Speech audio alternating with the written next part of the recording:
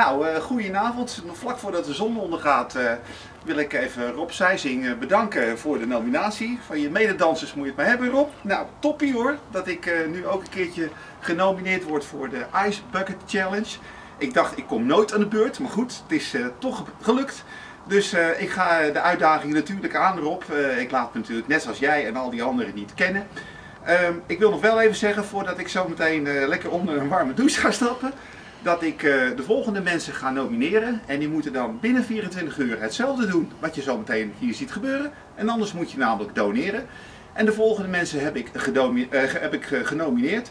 Dat zijn René Penning, mijn kerstverse schoonzoon.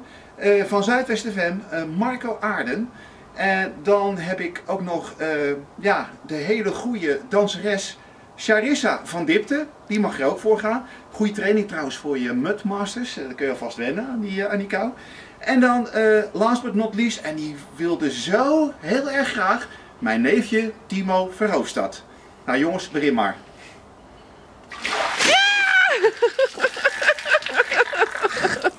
Ja, lekker. Oh, ja, jongens. Kijk, en dames, zo doe je dit nou, hè? Gewoon met een wit shirt, hè? Wet t-shirt.